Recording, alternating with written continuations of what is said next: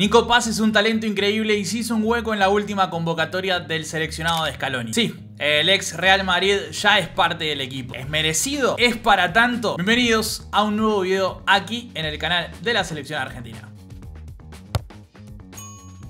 Al fin hablamos de Nico Paz, no en clave equipos, sino en clave selección. El rumor se hizo realidad y Nico Paz apareció presente en la última convocatoria del seleccionado nacional ante la previa de los partidos contra Venezuela y Bolivia. Pero ¿quién es? Porque este chico es un completo desconocido para muchos. Y digamos, en clave talentos jóvenes no lo es tanto. O no debería serlo. Tiene tanta calidad que Real Madrid lo formó y a la hora de venderlo dijo, dale, que se vaya al Como. ¿Cómo? ¿Al Como? ¿Cómo? ¿Al Como de Italia? Sí, sí, sí. Pero Real Madrid avisó, lo podemos repescar cuando nosotros querramos y nos quedamos con el 50% de una futura venta. Esto habla a las claras de la confianza que tienen en lo que puede ofrecer este argentino. ¿Cuándo deja de ser un completo desconocido para la AFA, para la selección nacional? Más o menos en 2021, cuando empiezan las gestiones no te digo para convencerlo, sino para mimarlo. ¿Y por qué el uso específico de esta palabra? Porque España lo ninguneó, no le dio bola. Tal como contó su papá, el ex futbolista de la selección argentina, Pablo Paz, nunca ha tenido que elegir porque España jamás lo llamó. Ni Julen Guerrero, el entrenador del Sub-17, ni José Lana, el entrenador del Sub-19, ni el coordinador de inferiores de España, Francis Hernández, se habían contactado con él. Incluso hubo mucho enojo por parte de Real Madrid diciendo, che, te estamos formando un talento que es increíble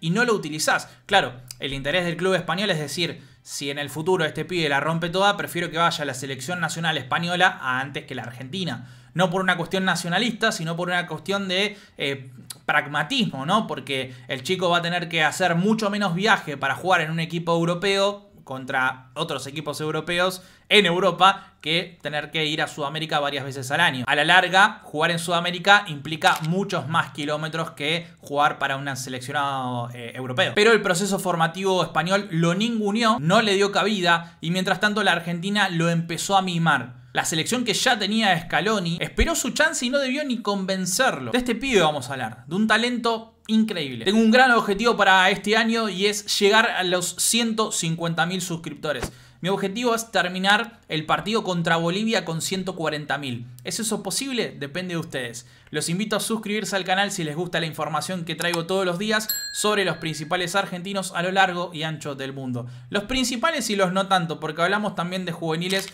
que, como Nico Paz, son descubiertos mucho después de lo que en realidad la empiezan a romper. De hecho, el primer video sobre Nico Paz fue hace año y medio. Y hoy está presente en la selección nacional. ¿Qué mejor canal para informarte de la selección argentina que este que estás viendo. Te invito a suscribirte y a estar atento a las próximas novedades. Nico Paz es un categoría 2004, tiene 20 años, nació en las islas de Tenerife, en España, y es ahí donde empieza a dar sus primeros pasos en el fútbol, porque el canario comienza a jugar en el Atlético San Juan, un club menor de las islas. Duró apenas 3 años porque en ese periodo de tiempo después se va al club de Tenerife. Con 11 anitos la rompe toda en el Danone Nations Cup, un torneo de juveniles. Su equipo pierde la final aquel abril contra Las Palmas, pero Nico Paz convirtió un doblete, que fue el descuento de su Tenerife, y fue una de las grandes figuras de aquel torneo que tenía varios scouts de los principales clubes de Madrid observándolo. De hecho, la familia de Nico Paz tenía todo cerrado para ir al Atleti de Madrid, para que su hijo juegue ahí. Era un club que por ese entonces ya tenía a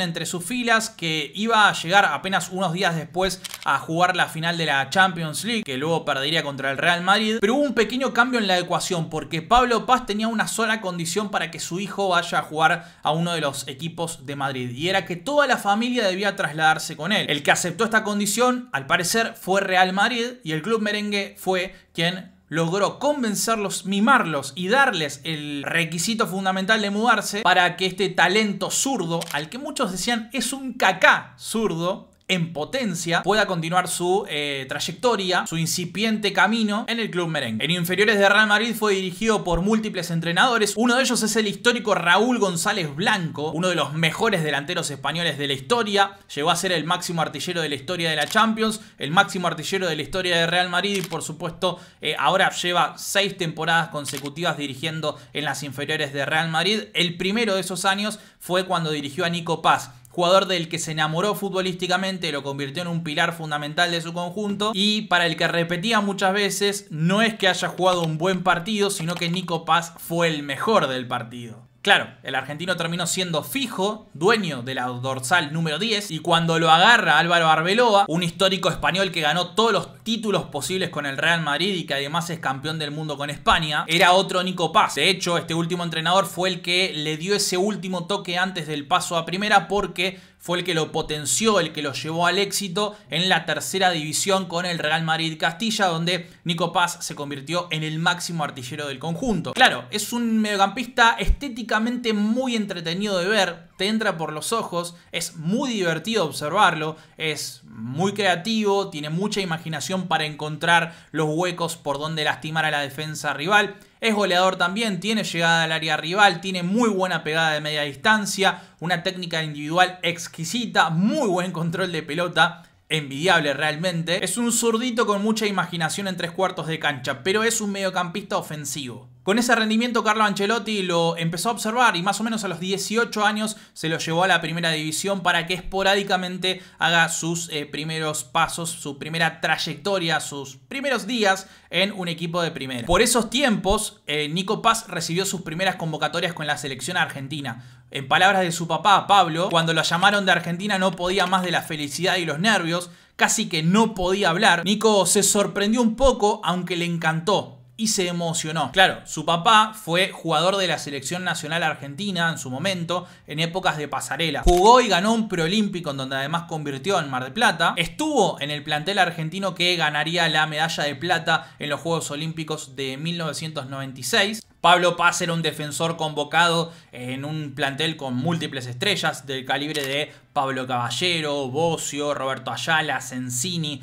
tenías a Chamot, Zanetti, Pineda y del medio hacia adelante una multitud de estrellas ya consagradas, Almeida, Simeone, Bacedas, Hugo Morales, Marcelo Gallardo, estaba Gustavo López, eh, por supuesto Claudio López, Hernán Crespo, Ariel Ortega y el Chelo Delgado. Pablo Paz luego fue parte de la eliminatoria hacia el Mundial de 1998 que también jugó porque sumó un puñado de minutos en el cierre de la fase de grupos para tener esa oportunidad de ser mundialista con la selección argentina. Pablo jugó en una multitud de equipos de Argentina y de España, incluso llegó al Everton de Inglaterra, pero su lugar en el mundo fue Tenerife, el club donde más tiempo jugó y donde justamente es donde nació Nico. Volviendo a su hijo, Jugó un par de amistosos con la selección sub-20 de Mascherano. Marcó ante Japón, por ejemplo. Fue parte de aquella goleada tremenda. Recuerdan el 6 a 2 sufrido ante Francia. Fue parte del Maurice Revelo, también conocido como la Esperanza de Toulon. Además de esto, fue campeón de la Alcudia en 2022. Estuvo en el Sudamericano sub-20 de 2023, donde la selección argentina no logró la clasificación al Mundial vía fútbol, recordemos lo haría después por escritorio, pero Nico Paz fue el mejor del equipo. Tiene proyección para jugar en primera. Es un jugador de primer equipo. Lo hizo muy bien con Arbeloa y también con Raúl. Decía Carlo Ancelotti. Y claro, lo retenían porque estaban jugándose torneos juveniles, porque estaban jugándose el ascenso en el Real Madrid Castilla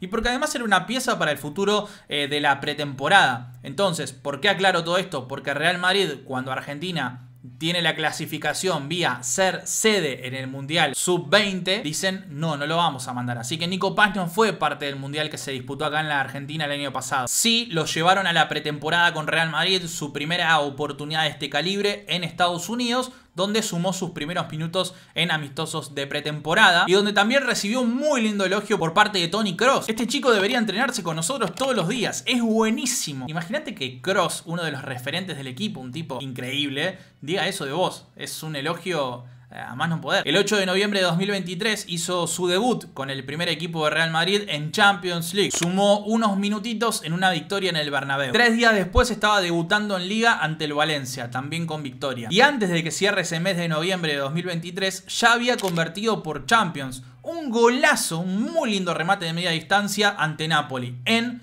el torneo continental por excelencia. Se convirtió en el segundo argentino más joven de la historia en marcar un gol en el torneo continental europeo. El número uno, Leo Messi. Estoy muy feliz, es un sueño. Estaba en modo automático, no sabía ni qué estaba haciendo. Le pegué la pelota y bueno, Estoy flipando, flipando, sí. Le valió elogios de absolutamente todo el mundo. Bellingham, Courtois, Cross, Modric, Valverde, Arbeloa, Raúl, los principales medios internacionales, los principales medios nacionales, los hinchas del equipo, todos elogiaron a Nico Paz sabiendo que tenían un talento entre manos increíble, Made in Real Madrid. Pero tras eso, la realidad. Es muy difícil asentarse en el club merengue siendo apenas un chico. Encontrar un hueco en un Real Madrid de estrellas, ganador de la Champions, que por cierto, Nico Paz también la gana porque es parte, es dificilísimo. Es un plantel cargadísimo de estrellas. Bellingham, Modric, Arda Guller, Valverde, Camavinga, Chouameni. Es imposible meterte ahí. Sin galardones, sin jerarquía. La calidad muchas veces no alcanza. Menos en un club como Real Madrid. Y Nico Paz necesitaba crecer, sumar continuidad, minutos. Pedía minutos sin pedirlo. Recordemos el famoso perfil que hace la AFA de él. Cuando Bernardo Romeo lo empieza a investigar para saber cómo juega, cómo es él, habla de Nico Paz como un pibe con una calidad alta, muy buena técnica, lugar en clubes de primer nivel, inteligencia dentro del campo, encuentra espacios donde los demás no los ven, ocupa los lugares que sus compañeros dejan, pero a la hora de hablar de lo personal, aclaran, no habla mucho, prefiere escuchar no grita, pero sí, si su equipo necesita que alguien se lo eche a la espalda, él lo hace. Es así que Real Madrid decidió venderlo al Como 1907 de Italia, un equipo recién ascendido, pero con Cesc Fábregas entre sus figuras, como entrenador fue a cambio de 6 millones de euros, pero también Real Madrid se guardó la doble posibilidad de disfrutarlo. ¿Por qué razón? Porque tiene una cláusula de recompra y porque además se guardó el 50% de los derechos de una futura venta. Es decir, sea en Real Madrid en el futuro o sea en otro equipo, lo van a disfrutar futbolística o económicamente. Le tienen mucha confianza a lo que puede hacer en un futuro. Es como una suerte de garantía para lo que se viene. Si la rompen el como italiano, tienen algo que llevarse. Nico suma sendas asistencias contra el Elas Verona y además con el Atalanta. Muy buenos rendimientos como en la primera jornada cuando le tocó debutar entrando unos minutos contra Cagliari y cambió el partido. Apenas 5 partidos le alcanzaron para su primera convocatoria con la selección nacional mayor con Scaloni presente. Será parte de la doble fecha de eliminatorias frente a Y Bolivia de local en el Monumental. Yo creo que este último pinta bien para un posible debut en Argentina. El último paso de ese mimarlo para convencerlo de jugar con la selección nacional. No hay que hacerlo. Él es argentino como todos nosotros, es parte, quiso jugar con la selección nacional argentina y sin dudas es para tanto y lo vamos a disfrutar un montón. Es un jugador fantástico, con una proyección increíble. Ojalá esté a la altura, ojalá lo pueda lograr, ojalá su entorno ayude de la mejor manera, pero sin dudas Nico Paz es uno de esos nombres a observar de cara al futuro.